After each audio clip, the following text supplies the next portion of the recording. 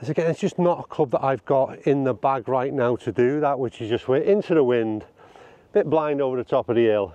I'm reaching for a club that I would ordinarily go nowhere near. That's unbelievable pickup out of the rough because the other thing this has got is some versatility. I only have one choice from there, maybe two. I'd be advising any golfer would use a hybrid or use a fairway wood with plenty of loft. And instead, I've got a long iron in hand. And that shot there is another reason why I'm seriously considering putting these irons in a certain part of the bag. And I'm shocked by the performance.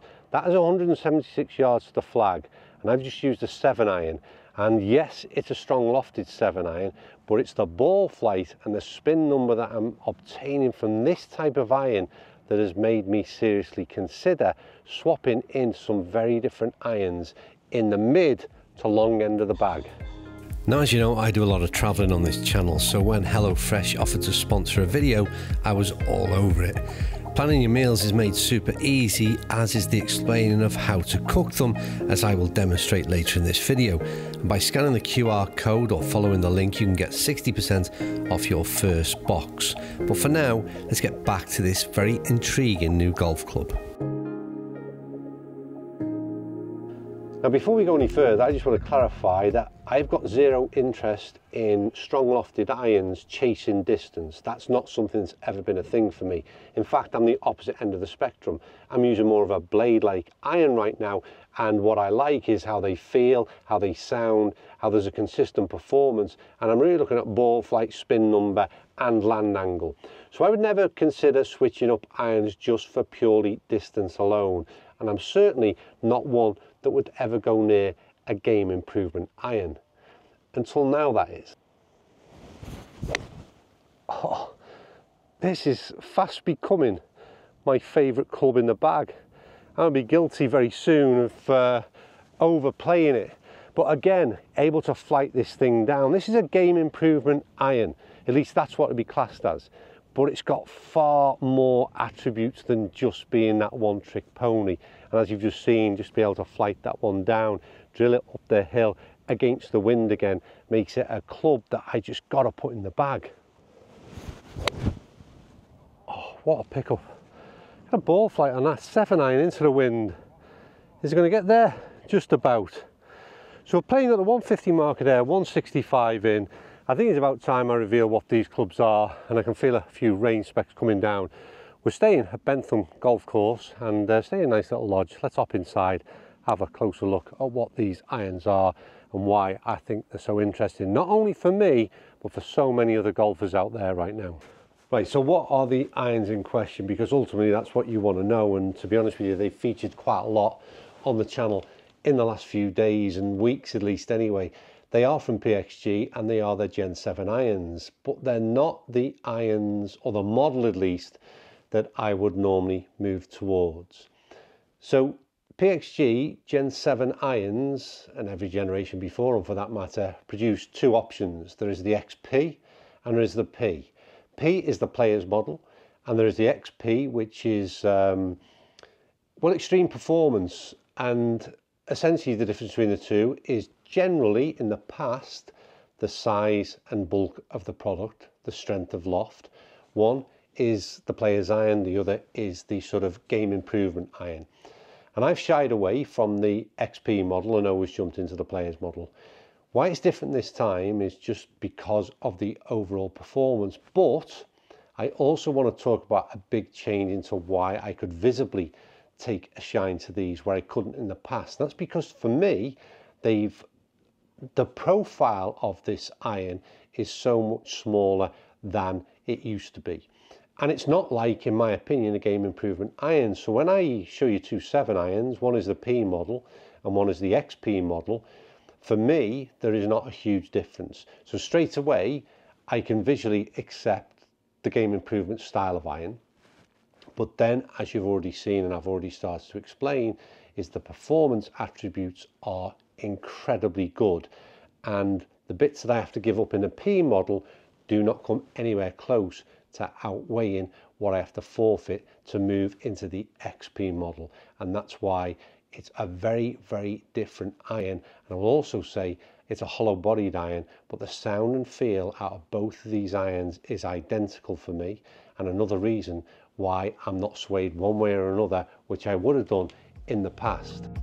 HelloFresh is a simple way to order food in portions that ensure you have zero waste, a clear guide as to how to cook the meal, and the food is delivered fresh to your doorstep. It also gives you full control over your food budget, making sure you only order what you need.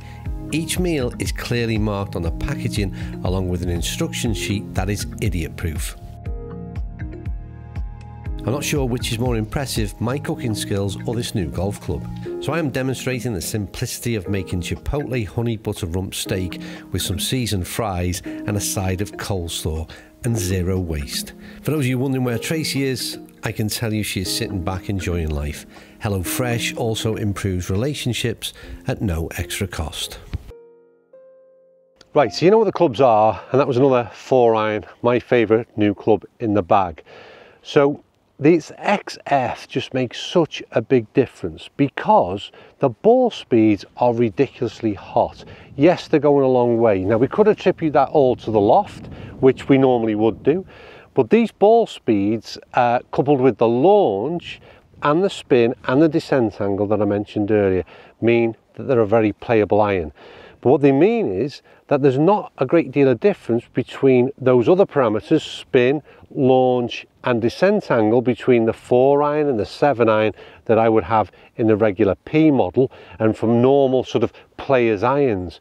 So therefore, why would anybody in their right mind deny themselves the extra ball speeds that are coming from these if all other attributes are pretty much similar to a player's type iron? And that's the dilemma I've put myself in and one I never expected to be in. I'm hugely shocked just as to how good these are. It came out of purely a fluke as to why I tried these in the first place. And trust me, they're very, very different. I wouldn't go near a game improvement iron in the past simply because top line would be way too bulky. The bottom would be again too bulky. The overall mass and appearance at address would be too bulky.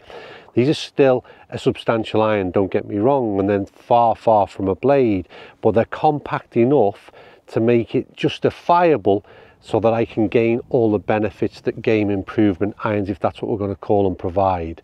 And these are pretty much unique in this category, in my opinion, and why I think that any golfer out there that doesn't really like using the hybrid option at the long end of the bag, but has been forced into it because of the ball speed situation, then this is a real viable option for you to try.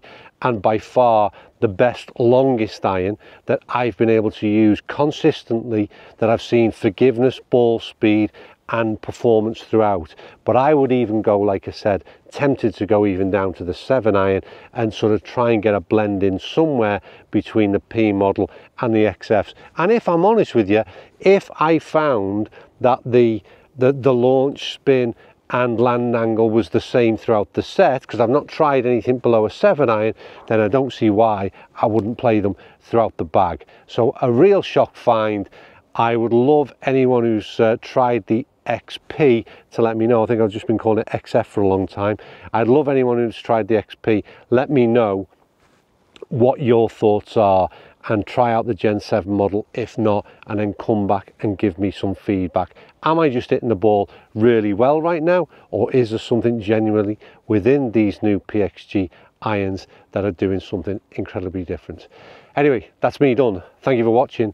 Thank you to our sponsor. Thanks to Bentham Golf Club and everybody else who watches and passes comments, hits that like button and gets involved in the channel. We always appreciate your support. Right, I'll see you soon.